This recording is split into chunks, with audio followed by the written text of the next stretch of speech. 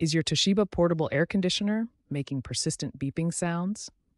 Understanding why this happens is crucial for maintaining your unit and preventing damage. The number one reason for beeping is a full water tank, indicated by the P1 error code. When this appears on your display, the cooling stops immediately, but the fan continues running.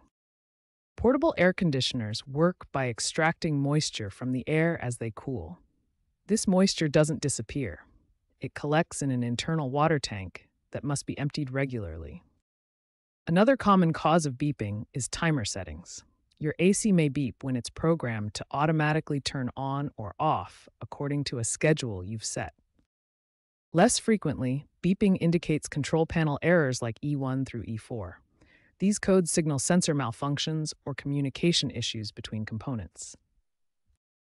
Ignoring these beeping alerts can lead to water damage, system overheating, and reduced efficiency.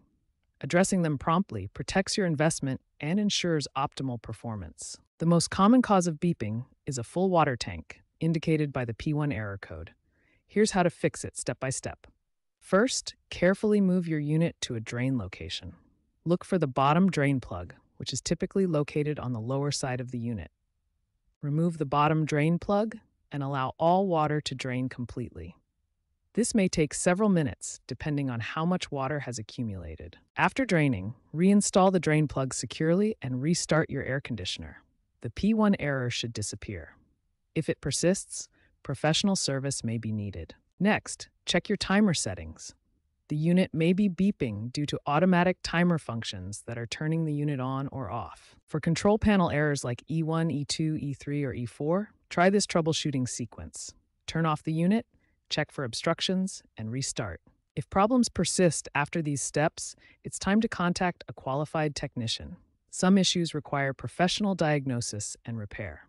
To prevent future beeping issues, regularly clean your air filters and ensure the drainage system stays clear.